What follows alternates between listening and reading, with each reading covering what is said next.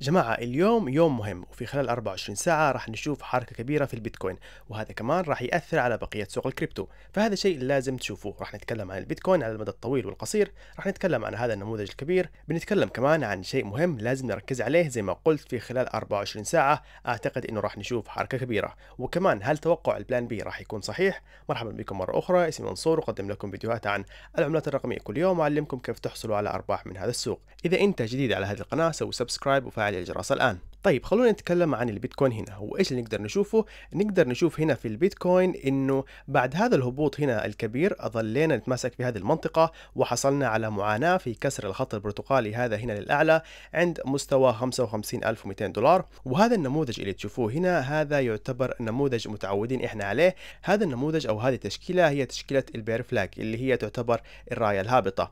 طيب أو في العادة اللي نشوفه من هذه النماذج إنه نشوف استمرارية في الهبوط. يعني هذا بشكل بشكل عام. فبعد هذا التماسك اللي هنا ربما راح نتماسك أكثر أو ربما هذا يكون هو التماسك وبعدين راح ننزل ونختبر مستوى 51700 دولار.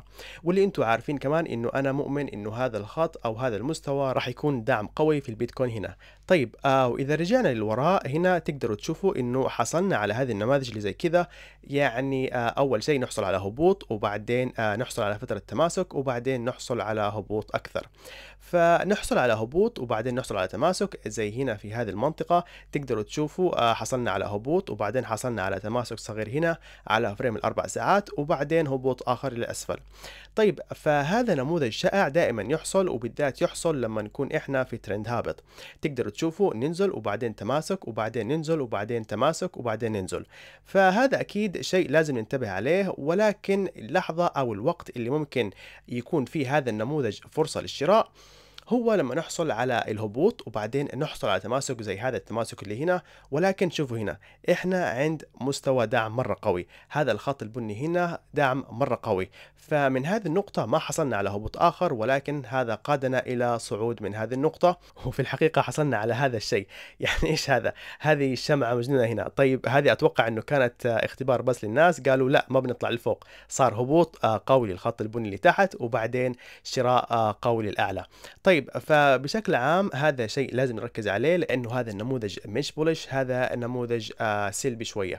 طيب ولكن يعني حتى إذا هبطنا فما في مساحة كبيرة للهبوط يعني إذا آه طلعت رؤيتي صحيحة وحصلنا على هبوط وهذا الخط كان آه مستوى دعم قوي عند آه 51600 دولار فهذا راح يكون هبوط بنسبة 4% وحاليا في ناس كثير خايفة في السوق لأنه الآن سبب هبوطنا في السوق هو أكيد بسبب فصيلة الكوفيد الجديدة اللي اكتشفوها.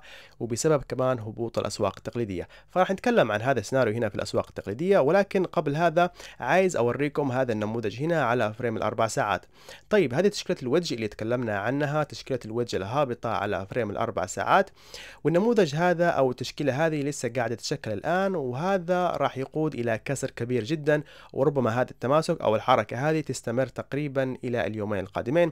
ولكن أكثر شيء تقريبا يمكن يكون أسبوع.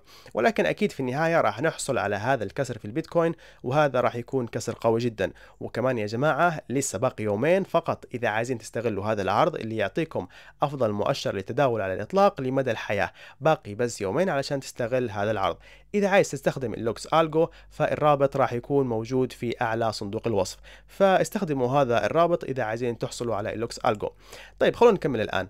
في مستويين لازم كمان ننتبه عليهم هنا. هو أول مستوى عندنا هنا ال moving average البنفسجي هنا هذا ال moving average 100 يوم وهذا الخط حاليا يدعم البيتكوين. هذا على ال frame اليومي. وإذا كسرنا من هذا المستوى فالمستوى اللي بعده اللي راح يمسك السعر وراح يكون مستوى دعم هو الخط الأزرق. هذا مستوى عند 45700 دولار. هذا ال moving average 200 يوم.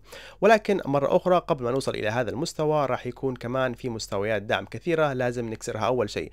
فخليكم منتبهين لهذا الشيء. وبشكل عام أنا أحس إنه هذا كان توقيت مرة سيء للأسواق التقليدية إنها تهبط بسبب فصيلة الكوفيد. آه، لأنه زي ما تعرفوا إنه بعد الخط الأزرق هذا بعد موسم العطلة أنا متوقع إنه البيتكوين راح يطلع بشكل عام ولكن الوضع الحالي اللي صار في الأسواق التقليدية يعتبر يعني زي الماء على النار هنا في البيتكوين وفي نظرتنا بشكل عام. ولكن آه لسه أعتقد إنه هذا الشيء راح يحصل ولكن أكيد لما نشوف الأسواق التقليدية تهبط بهذه القوة وزي ما تعرفوا هذا شيء أنا قاعد أقول لكم إياه من أول ما بديت هذه القناة دائما راقبوا الأسواق التقليدية. ولكن بصراحة بالنسبة لي أنا أشوف إنه البيتكوين وسوق الكريبتو ماسك بشكل جيد الآن أثناء هبوط الأسواق التقليدية بهذا الشكل. وهذا يقودني إلى آه نقطتي الثانية اللي هي إنه الأسواق التقليدية راح تفتح اليوم. أسواق ال futures راح تفتح اليوم الأحد في المساء تقريبا في خلال 10 ساعات. فهذا يعتمد على آه طريقة الفتح. إذا فتحت بشكل أحمر ونزلت بشكل كبير فكمان توقعوا إنه البيتكوين راح يحصل على هبوط قوي كمان. ولكن إذا قدرنا بأي طريقة انه نحصل على تماسك صغير هنا وكمان طلعنا شوية فأعتقد إنه هذا أكيد راح يكون شيء جيد للبيتكوين. فهذا شيء لازم نراقبه يا جماعة راقبوا لما تفتح الأسواق التقليدية اليوم. طيب بالنسبة لي هل أعتقد إنه راح يفتحوا أخضر أو أحمر سيء أو جيد؟ بصراحة أنا أشوف إنه المخاوف قاعدة تزداد من ناحية فصيلة الكوفيد الجديدة هذه اللي طلعت والحظر يزداد والمخاوف كمان تزداد. فراح نشوف يا جماعة راح نشوف كيف آه راح تكون ردة فعل السوق. لأنه بنفس الوقت السوق كمان يعرف إنه في آخر مرة حصل هذا الشيء في عام 2020 أيوة تقريبا في 2020 آه فلما حصلنا على الهبوط الكبير في الأسواق آه بشكل عام يعني سوق الكريبتو وكمان الأسواق التقليدية بعد الهبوط الكبير اللي صار الأسواق حصلت على ارتفاعات ودخلت في طلوع مرة قوي.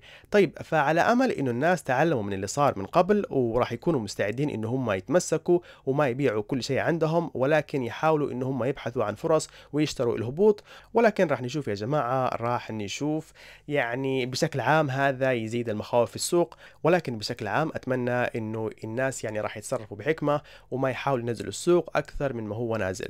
فراح نشوف يا جماعة آه، عندنا هنا مستوى الدعم القادم عند 4475 دولار هنا في الأسواق التقليدية.